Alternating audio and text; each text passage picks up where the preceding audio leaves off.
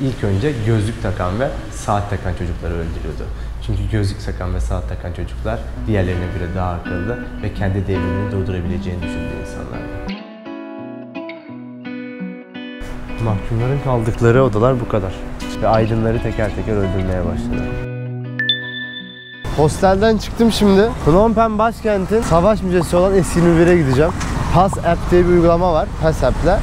3 dolara beni tuk tuk hostelden alıp hostele tekrardan bırakacak. Bir saatte beni bekleyecek. Çok uygun değil mi? S21 çok üzücü bir müze. Kamboçya'nın kanlı tarihini anlatıyor. Pol Pot rejiminde yapılan tüm işkencelerin yapıldığı bir hapishaneye gidiyoruz şu an. Kamboçya'nın kanlı geçmişini bir de burada izleyelim bakalım.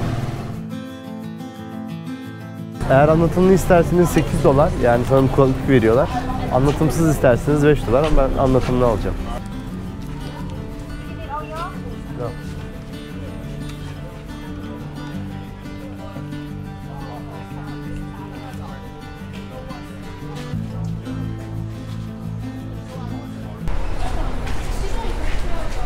Yürüyorum ama nasıl?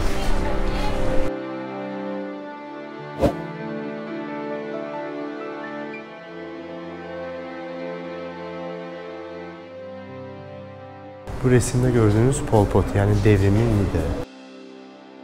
1925 yılında çiftçi bir ailenin çocuğu olarak dünyaya geldi. Fransa'nın eğitimini yarıda bırakıp 1953'te Kamboçya'ya tekrardan döndü. 10 yıl öğretmenlik yaptıktan sonra 1963 yılında ormana çekilerek Kızıl Kümer Devleti'ni kurdu. 9 milyar nüfuslu olan Kamboçya'nın 3 milyarını sadece 4 yılda katleden lider. Aslında her şey tam da burada oldu. Başkent Phnom Penh'de. Pol Pot birlikleri Phnom Penh'i işgal ettikten sonra kanlı devrim başladı. Pol Pot'un asıl amacı sınıf ayrımcılığını kaldırmaktı. Pol Pot iktidara gelince hayalindeki ütopik devleti kurmak için ilk adımını attı ve tüm şehri kırsal alanlara taşıdı. Bu arada da başkent Phnom Penh'den nerelere insanların dağıldığını görebiliyoruz. Binlerce insan sadece bu yer değiştirmelerde dayanamayıp hastalıktan öldü. Parayı kullanımdan kaldırdı, özel mülkiyete savaş açtı, gazete ve dergileri kapattı ve aydınları teker teker öldürmeye başladı. Şu an Pol Pot'un işkence merkezi olarak bilinen S21 hapishanesindeyiz. Burası eskiden bir liseydi ama 1975 yılında bir hapishaneye çevrildi ve hapishanede tamamen işkence yapıp Pol Pot rejimine karşı çıkan halkın itiraf edip öldürülme sahasıydı.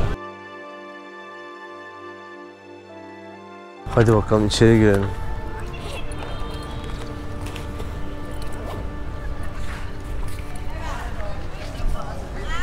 Burası mahkumların işkence edildiği bir oda. Bu resimde gördüğünüz gibi mahkumları şu demir, şu demirlere kilitleyip işkence yapıyorlar.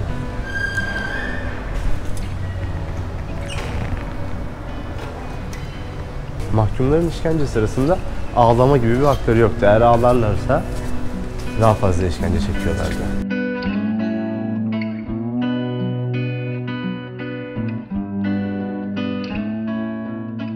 Buraya gelen mahkumların adı veyahut da bir cinsiyeti yoktu. Onlara geldikleri gün bir numara verilip fotoğrafları çekiliyordu. Ve artık bu fotoğraflarla anılıp bu fotoğraflarla ölüme gönderiliyordu.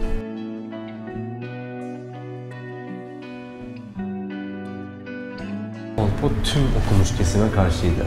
Çünkü okumuş kesim akıllı ve onun devrimine karşı gelebilecek insanlardan oluştuğunu düşünüyorlardı. Bu nedenle bütün avukat, doktor, savcıların hepsini katletti. Bu resimde gördüğünüz avukat çift, altta gördüğünüz profesör ve üstte gördüğünüz bir hukuk profesörü bu hapishanede katledildi.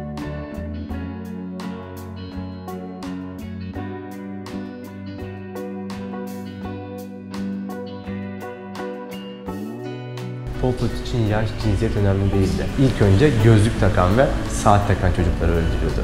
Çünkü gözlük takan ve saat takan çocuklar diğerlerine göre daha akıllı ve kendi devrimini durdurabileceğini düşündüğü insanlardı.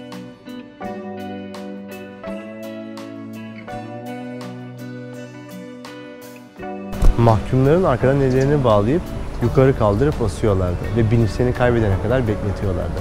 Bilinçlerini kaybeden mahkumları bu içi pis ve iğrenç kokan küplerde bekletip tekrardan bilinçlenmelerini bekliyorlardı. Tekrardan bilinçleri yerine gelince aynı işkenceyi tekrardan uyguluyorlardı.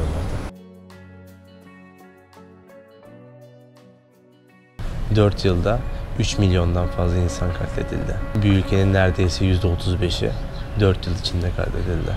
Tüm aydınları, eğitimlileri, kadın, erkek, çocuk hiçbir ayrım yapılmadan tarlalarda çalışmaya zorlanıldı. Karşı gelenler işkence hapishanelerinde ölüme terk edildi. Pol Pot. Mahkumların kaldıkları odalar bu kadar.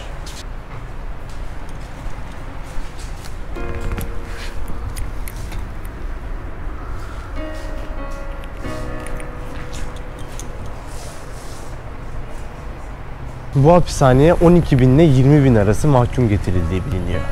Ve sadece 12 kişi buradan kurtulabilmiş. Kamboçya Phnom Penh yani başkentte şu an bu hapishane bir müzeye çevrildi. Ve her yıl turistler ve Kamboçya halkı bu katliamı bir daha yaşamamak için gelip tarihlerini tekrardan anıyorlar. 3 milyon insanın 4 yılda katledildiği bir yer. Kamboçya. Bugünlük benden bu kadar. Kamboçya'nın biraz da tarihinden bahsetmek istedim sizlere. Bir dahaki videoda görüşmek üzere.